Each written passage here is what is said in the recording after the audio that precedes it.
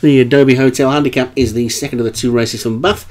It's a six furlong 0 to 90 handicap, and the top one is Alpine for James Shea. Calder Crew World, Thomas Rogers, Magic Man, Obi Wan, Triviality Peter, Alex Ince, Yarkinov, Red Eyes, Conno in Lipped, Thomas Rogers, Monet Adamald, Conte Galore, Rod McClure, Quantity Carson, Alex Ince, Critical Damage, Daniel French, Magic Bus, Obi Wan, Shine a Light, Craig Beckwith, Whistle Down the Wind, Daniel French, Winter Tapestry, Martin Needham, Catastrophe Velocity, Adamald, Southwark Meltemi, Martin Needham, Love Pantera Rossa, Alex Cherry, Dodona Branch, and an all-star for Graham Clutterbuck, Sindra and Java Confract for Ryan Costello, and Syntrax for Satyam. So 22 in this then, and hopefully it'll be a straight track. We'll soon see. Not sure is it going to be though, and uh, all installed. And away they go.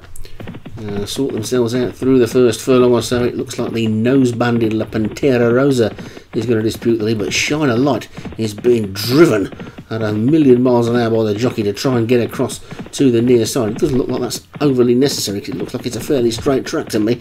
And it's Shine a Light though has got across. Maybe it needs the rail, but it's got a lead of three lengths.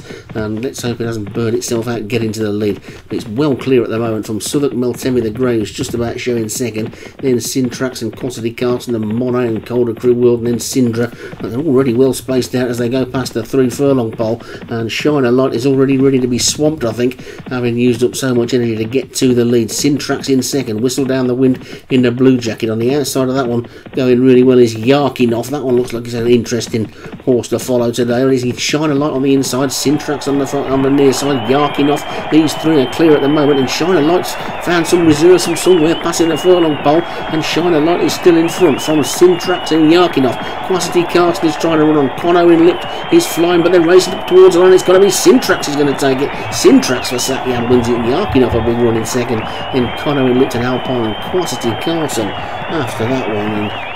And it's a win for Satyam and Sintrax and Yarkinov as well. A big run. 66 to 1 the first four home. And be a nice tricast, wouldn't it? You got the one, two, three there. And it's Sintrax for Satyam the winner. Yarkinov for Red Eyes second. Conno in Lipped for Thomas Rogers third. Quantity Carson for Alex fourth. And Alpine for James Shea was fifth.